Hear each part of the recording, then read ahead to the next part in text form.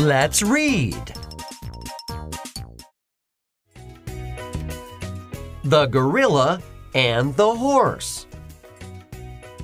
A girl sees a gorilla playing golf. The girl plays golf with the gorilla. The golf ball falls into the gap. The girl is good and she wins the game. A girl sees a gorilla playing golf.